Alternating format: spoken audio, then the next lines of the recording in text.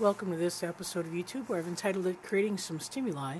And we always talk about winter as being a more stimulating and dominant time of the year. And here's Aidan showing a threat display over actually a cache. Uh, he was uh, chasing Boltz. Uh, Grayson kind of got a little startled there as well. Uh, but that is a typical thing that we see in the wintertime but it's been added a little bit uh, by the fact that we are feeding so many resources for the pups. So there's so much more food to guard, to possess, to cache, and uh, creating a lot more opportunities for possessing things. And you can see in the backdrop on the pump housing is part of a deer head. Um, the pups are feeding on chicken. So, first of all, we'd like to say thanks to the people who donated chicken. We are so grateful to have a full complement of foods to be able to make sure that the pups get the resources they need. They've been a little particular. Sometimes it's bison, sometimes it's beef, sometimes it's chicken, and they go back and forth. Uh, but uh, having a wide variety to offer the pups to make sure that they maximize their growth is very, very important. So thanks to those of you who who uh, donated, and again for all the Amazon wish list donors, uh, we couldn't do it without you. We are um, grateful for all of your efforts.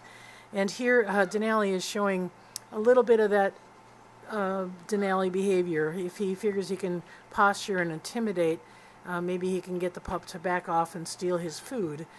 And that is Grayson that um, has the chicken there, but it didn't work this time. It has worked before. Um, that's why I think Grayson's a little bit smaller than Axel, and that Grayson does give up pretty easily. But uh, he's learning, and he's getting a little bit more courage as the winter progresses here. So um, Axel is about 90 pounds. We're only weighing once a month now on their birthday, on the 2nd. Um, and at that time, that was uh, January 2nd that we weighed. And uh, Grayson is still about 76 pounds. So there's a little bit of a difference between those two. And you can see it here. Axel on the left, this is Grayson with the chicken. So we are feeding on a daily basis. Um, Boltz is getting benefits from that as well. He usually was the one who didn't get as much food resources as Aidan and Denali, so he's benefiting from pups being fed as well. And we are seeing a little bit of pup uh, dominance coming from Boltz, and it's my it's primarily on towards Axel. Um, Axel is really kind of pushing um, and testing a little bit more than Grayson. Grayson's a little bit more timid, so this is Axel going up to Denali and trying to do a standover on Denali, and uh, he's going to display a lot more. Um, I don't call it dominance, but um, certainly a lot more testing kind of response uh, than Grayson, just because of who he is. And so that's going to result in the Wolves putting a little bit more focus on him to kind of um, show him his status. That's very typical. Pups kind of get to do what they want, and then as they approach this one year of age, the adults say, okay, you're no longer pups, you can start fitting into the rank order, and they start establishing a little bit of boundaries and limitations. So this is Axel doing obnoxious submission. That's Denali uh, pinning him to the ground, and uh, that's Grayson coming off the pump housing because he's not involved. He's not testing as much, so he's not really in the middle of these um, in-your-face, jaw-sparring, obnoxious submission kind of things. Uh, Grayson is much more uh, respectful is a human word, but um, and we use it in wolf terms as well, um, of the of the space of those adults, and that keeps him from getting some of this uh, heavy pressure that Axel's been getting, and doesn't stop Axel at all, um, certainly. But uh, the other thing here, notice that Aidan comes over, does a little bit of a tail posture, and kind of comes up in and just walks next to Denali, stands there for a little bit, and that's enough to really let Denali know that. Uh, things need to calm down a little bit. And so Aidan does a lot of that body posturing, and um, certainly the pups benefit from it, especially Grayson. Grayson will oftentimes follow Aidan, and if things get a little bit tough, um, go towards Aidan. Aidan. So uh, the stimulus that we're creating is roof shoveling. We had about probably two, almost three feet of drifted snow on the roof from previous storms, and that snow causes weight, and also it can cause some ice dams and so it can actually damage the roof. So we needed to get that snow off. And so the contractors who do our snow removal uh, started shoveling. We moved the wolves off. Obviously, as you can tell here from this pile of snow, uh, wolves would be on the roof if we didn't um, move them out while this was going on. So it's a safety issue for the wolves, it's a safety issue for the contractors. And uh, that snow had to be moved away from the edge of the building.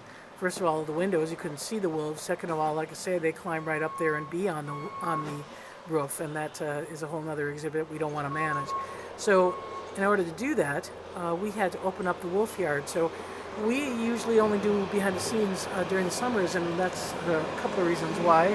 First of all, you can't get behind the scenes in the wintertime because of the snow and piles, so it's uh, hard to maneuver back there. And uh, second of all, wolf dominance tends to get a little bit tense, and especially Aidan, who's not a big uh, fan of strangers, gets a little tense, and he directs uh, redirects aggression um, with strangers in the wolf yard. So this whole scenario of snow removal can be a little contentious, and it actually was for Aidan and Holding. Um, he got very agitated about being separated. He got agitated about the equipment um, being used.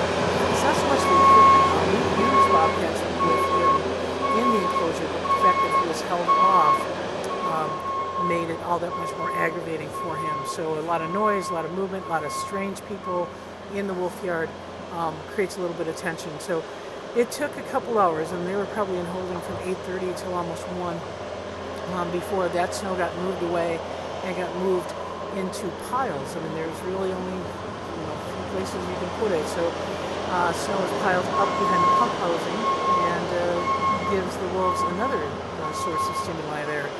Uh, one of the things I would also uh, recommend if you're thinking about coming to Ely, great time of the year to do it. February 4th, we have actually a photographer's uh, morning on Saturday morning from 7 to 9. Otherwise, we've got a photographic weekend um, from uh, the uh, uh, that weekend, uh, the 3rd, 4th, and 5th is a photographer's weekend. And um, the following week, we have a wolf watch. So, great opportunities to come and watch the wolves and great piles of snow for them to be stimulated by and um, active. so, you'll see a lot of this king of the hill, who gets to be on top, that type of thing. So what's nice about the snow piles is uh, uh, they're above the, the, normal cover hay beds, and so visually and for photography, it gives you a, a nicer backdrop.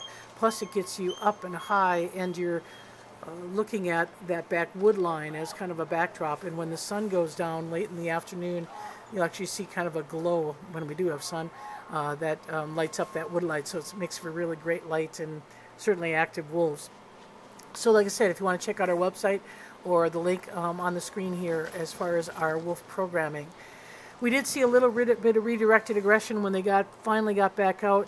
Uh, like I said, Aidan was very tense. He was biting at some wood panels in there, and uh, that creates a little tension there. But they settle down um, um, pretty quickly, and uh, we see the pups again enjoying that opportunity to get into a higher vantage point especially when you're the smallest member of this pack, the taller you can be, um, the more opportunities you have to look down on those who are bigger than you are. So um, Axel here on the right um, really uses that advantage of height to maybe assert himself a little bit more as he's trying to test, and that's what he does to uh, every adult wolf who comes up. That's uh, Boltz coming up to him, and he does that kind of jaw sparring, in your face type of thing.